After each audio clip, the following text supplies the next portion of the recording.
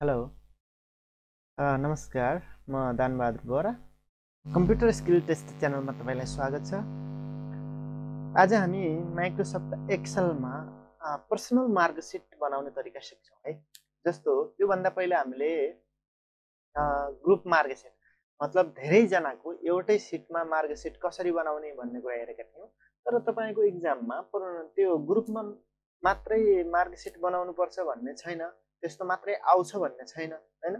त्यही भएर यस्तो खाले पर्सनल मार्कसिट बनाउनुहोस् भनेर पनि आउन सक्छ होइन?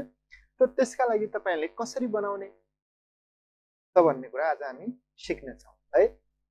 त सुरु गरौँ आजको भिडियो। ओके त मैले एउटा यहाँ फर्मेट तपाईँ देखिरहनु भएको छ। एउटा सामान्य फर्मेट मैले क्रिएट गरेको छु यहाँ। तपाईँ आफै पनि फर्मेट क्रिएट गर्न सक्नुहुन्छ। त मैले फर्मेट बनाउने तरिका तपाईँहरूलाई अलरेडी सिकाइसकेको छु। यदि तपाईँहरूले त्यो भिडियो हेर्नुभएको छैन र तपाईँलाई फर्मेट बनाउन आउँदैन भनेपछि प्रिभियस भिडियोहरू चेक गरेर तपाईँ आफूले चाहेको जस्तो फर्मेट क्रिएट गर्न सक्नुहुन्छ। मर्ज कसरी गर्ने कहाँदेखि हामीले डाटा इन्ट्री गर्ने सबै कुरा इक्जाममा कसरी गर्ने एरेन्ज डाटाहरूलाई कसरी गर्ने भन्ने कुरा मैले बताएको छु। कृपया चेक गर्नुहोला र अरू फर्मुलाहरू पनि कसरी क्रिएट गर्ने भन्ने कुरा मैले तपाईँहरूलाई बताएको छु है? ओके त आज हाम्रो पर्सनल मार्कसिट छ। मैले पाँचवटा सब्जेक्ट राखेको छु यहाँ नाम हरिराम देवबा रहेको छ यहाँ होइन? हामीले निकाल्नु पर्ने भनेको टोटल अब तपाईँलाई त्यहाँ क्वेसनमा calculate total result average and grade भनेर भन्न सक्छ र यसका लागि तपाईँलाई कन्डिसन दिन सक्छ है? जस्तो टोटलका लागि त के कन्डिसन परेन होइन? टोटल भनेको त सम अफ अल सब्जेक्ट होइन? अल सब्जेक्ट भनेको टोटल भइहाल्यो होइन? अनि रिजल्टका लागि कन्डिसन हुनसक्छ। If all subject obtained mark greater than thirty five then pass यति मात्र। अदरवाइज फेल नलेख्न पनि सक्छ लेख्यो भने पनि ठिकै छ है? रिजल्टका लागि चाहिँ हाम्रो के हुनु पऱ्यो सबै विषयमा यदि पैँतिसभन्दा बढी छ भने त्यो पास हुने भयो अदरवाइज फेल हुने भयो है? त्यसै गरी एभरेज त अब तपाईँले क्यालकुलेट एभरेज भन्ने बित्तिकै एभरेज लगाउनु पर्ने भयो यसका लागि केही छैन होइन? त्यस्तो कन्डिसनै राख्नुपर्ने। तर ग्रेडका लागि फेरि हाम्रो कन्डिसन राख्न सक्छ। अब कति एभरेज अब ग्रेड के का आधारमा हुने हो? पहिला त त्यो हुनु पऱ्यो है? ग्रेड भनेको हाम्रो पर्सेन्टेज अथवा एभरेजका आधारमा? एभरेज र पर्सेन्टेज भन्नुहोस् जस्तै भयो होइन? एभरेज तथा पर्सेन्टेजका आधारमा हाम्रो के आउने हो त? ग्रेड आउने हो है? ओके हामी ग्रेडका लागि देखिरहेछौँ। ग्रेडलाई हेन्डरमा ल्याएँ है? मैले अहिले राम्रो हेर्नका लागि। अब ग्रेडका लागि हाम्रो कन्डिसन के देखियो त हाम्रो? यो मैले बनाएको है अहिले। तपाईँलाई त्यहाँ इक्जाममा जस्तो खोइ आउन सक्छ यति धेरै लामो नदिन पनि सक्छ। सिधै एट्टी सिक्सटी र फिफ्टी तिनवटा कन्डिसन मात्र दिन सक्छ। यो यो अहिले मैले आफूले क्रिएट गरेको कन्डिसन हो। अ, हामीले सिक्नु यो सिक्यो भने अ, त्यहाँ पनि एप्लाई गर्न सक्छौँ भन्ने मात्र हो कि है? नब्बेभन्दा बढी भयो भने कति त? ए त्यसै गरी अस्सीभन्दा बढी भयो भने ए माइनस सेभेन्टीभन्दा बढी भयो भने हाम्रो कति? बी प्लस सिक्सटीभन्दा बढी भयो भने बी त्यसै गरी फिफ्टीभन्दा बढी भयो भने सी प्लस अनि फोर्टीभन्दा बढी भयो भने सी कमा डी भनेको यो यदि फोर्टीभन्दा तल छ भने त्योभन्दा बाँकी छ भने त्यो सबैको के आउनु पर्ने भयो त? डी आउनु पर्ने भयो है? अ, यो कन्डिसन अहिले हामीले क्रिएट गऱ्यौँ है? यस्तो यसरी तपाईँलाई कन्डिसन पनि त्यहाँ इक्जाममा दिन्छ भनेको है?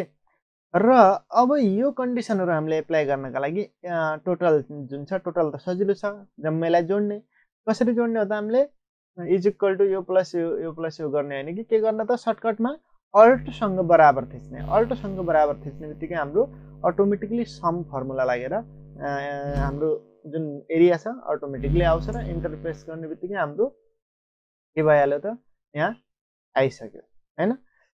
त्यसै गरी हाम्रो रिजल्ट रिजल्टका लागि के भनेको छ त? सबै विषयमा मार्क कतिभन्दा बढी हुनु पऱ्यो त पैँतिसभन्दा बढी हुनु पऱ्यो है? यसका लागि पनि सजिलै निकाल्न सक्छौँ। इज इक्वल टु इफ अब यदि कन्डिसन छ नि त कन्डिसन पास अदरवाइज फेल भन्ने छ यदि सबै विषयमा पैँतिसभन्दा बढी भयो भने पास अदरवाइज फेल छ त्यही भएर इफ मिनिमम एमआइएन होइन? मिनिमम अनि हाम्रो सबै subject obtained mark. If obtained mark सबै एरिया है टोटल होइन फेरि। मिनिममको पोस्ट बन्द गरिदिउँ होइन? यो ग्रेटर देन कति भयो? थर्टी फाइभ भए मिनिमम सबभन्दा कम जुन छ यो यसमा थर्टी फाइभभन्दा बढी भयो भने के भयो त? व्यक्ति पास होइन? अदर यो कन्डिसन चेक गर्ने बित्तिकै ट्रु निस्क्यो सबैमा यो पैँतिसभन्दा बढी भयो भनेपछि के भयो त त्यो व्यक्ति पास भइहाल्यो? अदरवाइज के हुने भयो त त्यो व्यक्ति फेल हुने भयो है? र इन्टरप्रेस गऱ्यौँ हामीले यो पास भइहाल्यो। किनभने सबभन्दा सानो मिनिमम भनेको यसमा सबभन्दा सानो पैँतिसभन्दा बढी छ भन्नाले कोही पनि त्यस्तो छैन जो पैँतिसभन्दा कम छ भन्न खोजेको है? पैँतिस अथवा पैँतिसभन्दा बढी भनेपछि इज इक्वल टु भनेपछि यहाँनिर हामीले बराबर लगाउन सक्छौँ। त्यसो गरेको खण्डमा पैँतिस आउने पनि पास हुन्छ है यो बराबर फर्मुलामा हामीले यहाँनिर इज इक्वल टु पैँतिस लगायौँ भनेपछि इज इक्वल टु लगाएनौँ भने पैँतिस आउने पनि फेल हुने भयो। तर इज इक्वल टु लगायौँ भने पैँतिस सहितको पास हुने भयो है। मानव यसमा हामीले कसैको चौतिस राख्यौँ भनेपछि कन्डिसन चेक गर्दाखेरि हाम्रो थर्टी फाइभभन्दा तल पनि छ त्यही भएर यो फेल भइहाल्यो है। थर्टी सिक्स फर्मुला एकदम इजी छ हेर्नु होला तपाईँले ग्रुप मार्कसिटमा पनि यो फर्मुला एप्लाई गर्न सक्नुहुन्छ। अर्को फर्मुला जुन हामीले सिकेका छौँ त्यो अलि लङ हुन जान्छ होइन? त्यो कन्डिसनमा तपाईँले यो फर्मुला युज गर्न सक्नुहुन्छ है? अब त्यो जाने छ भनेपछि त्यो हजुर लाग्छ भने त्यो युज गर्नु नि भयो अन्त खासै लामो छैन होइन? यो गर्दा पनि भयो है? के त हामीले यसमा इफ मिनिमम मिनिमम अनि मिनिमम कोस्ट सुरु? अनि अपडेन मार्क जम्मै। अनि कोस्ट बन्द। Greater than equal to greater than equal to अनि कन्डिसन दिएको कन्डिसन हाम्रो अहिले पैँतिस दिएको छ भने पैँतिस तब पास अदरवाइज फेल ओके त्यसै गरी एभरेजका लागि त हाम्रो सजिलो छ।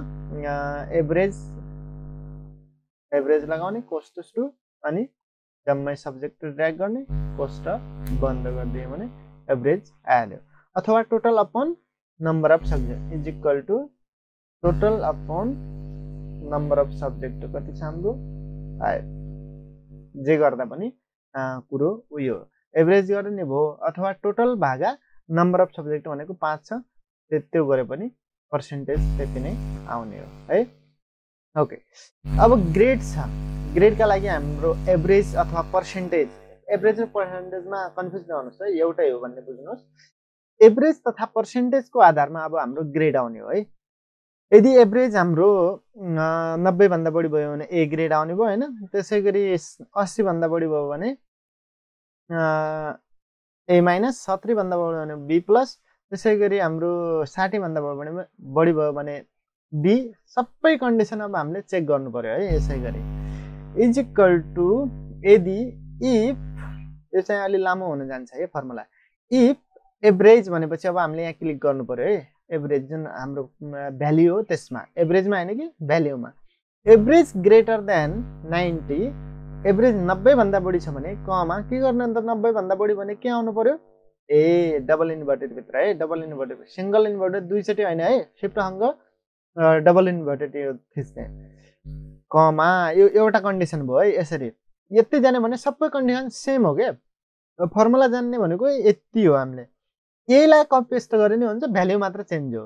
यदि हाम्रो जुन एभरेज छ त्यो नब्बेभन्दा बढी भयो भने ए अब यस्तै सेम यसैलाई कपी गर्दा नि हुन्छ अथवा लेख्दा नि भयो है? जस्तो म यसैलाई कपी गरिदिन्छु अलिक सजिलो होला नि त। ए भो पेस्ट पेस्ट पेस्ट पेस्ट अलि लामो गरेँ है? अब नब्बेको ठाउँमा अस्सी अस्सीभन्दा बढी छ भने के त? ए माइनस त्यसै गरी अस्सी पछि कति छ? सेभेन्टी। सेभेन्टीभन्दा बढी छ भने के त? बी प्लस भ्याल्यु त चेन्ज गर्नु पऱ्यो है हामीले। फर्मुला लग उयो हो एउटै टुक्रा हो होइन? एउटै कन्डिसन हो। त्यसपछि सत्तरी पछि साठीभन्दा बढी छ भने के त? बी त्यसै गरी पचासभन्दा बढी छ भने के त? यहाँ यहाँबाट हेरिरहेको छु है म। सी प्लस सी प्लस अझै पुगेन हाम्रो एउटा कन्डिसन फेरि पेस्ट गर्छु। म अगाडि कपी गरेको थिएँ। त्यसै गरी चालिसभन्दा बढी भयो भने के थियो त हाम्रो चालिस सी। अदरवाइज कमा बाँकीहरूलाई लास्टमा त्यत्तिको बिना कन्डिसन डी डबल इन्भर्टेड है कुनै पनि भ्याल्यु चाहिँ हाम्रो यो रिजल्ट चाहिँ डबल इन्भर्टेड अब इफ जतिवटा लाग्यो त्यतिवटा इफको कोस्ट बन्द गरिदिने है। यसरी कोस्ट बन्द गर्दाखेरि यहाँ पनि देखाउँछ। यहाँसम्म पुग्यो भनेर है अलि हाइलाइट देखाइरहेको छ हेर्नुहोस् न। ए यहाँ पुगिसक्यो। जति इफ लगाएको छ हाम्रो त्यति इफको कोस्ट बन्द। एकदमै सजिलो छ तपाईँले जान्नुपर्ने भनेको यति हो है। यति जाने भने सबै उयो। यदि त्यो एभरेज नब्बेभन्दा बढी भने ए अस्सीभन्दा बढी भयो भने ए माइनस होइन? त्यसै गरी सत्तरीभन्दा बढी भयो भने बी प्लस अब जे कन्डिसनमा दिएको छ तल त्यही आधारमा यहाँ हामीले राख्ने है ओके र इन्टर प्रेस गरिदिनु लास्टमा अनि त्यो ग्रेड आइहाल्छ यसको चाहिँ सी प्लस आउनुपर्ने के थियो त हाम्रो यी हेर्नुहोस् न पचासभन्दा बढी छ नि त यो सी प्लस साठीभन्दा बढी पनि छैन त्यही भएर सी प्लस आयो यसको चाहिँ है? मानौ हामी यसमा मार्क अलिक बढाइदिउँ यसको एट्टी गरिदिउँ। हेर्नुहोस् साठीभन्दा बढी गइसक्यो बी त्यसै गरी अझै मार्क बढाइदिउँ। साठीभन्दा बढी नै छ त्यही भएर बीमै अट्क्यो होइन एकहत्तर बी प्लस छत्रीभन्दा अब त्यसै गरी जति मार्क आयो त्यही आधारमा एभरेजको आधारमा एभरेज र ग्रेड अटोमेटिकली चेन्ज हुने भयो मार्क हटायो भने। है? त यस्तो खाले पर्सनल मार्कसिट पनि बनाउन आउन सक्छ तपाईँलाई तर यदि धेरै लामो कन्डिसन यदि लोकसेवाका हाम्रो खरिदार सुब्बा अधिकृतका लागि भने धेरै लामो नदिइकन दुई तिनवटा सम्म यति मात्र पनि दिन सक्छ। तर हामीले लामोमा ठुलोमा प्र्याक्टिस गरिराख्यौँ भने सानो अझै सजिलो होला हामीलाई होइन?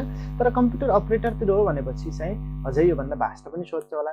जस्तो एभरेज बिना हामीले ग्रेड निकाल्नुपर्ने हुन्छ होइन? त यो एभरेज बिना हामीले फर्मुलाभित्रै ग्रेड कसरी निकाल्ने? एभरेज ननिकालिकनै यहाँनिर फर्मुलाभित्रै एभरेज निकालेर ग्रेड कसरी निकाल्ने भन्ने कुरो चाहिँ हामी नेक्स्ट भिडियोमा चर्चा गर्नेछौँ।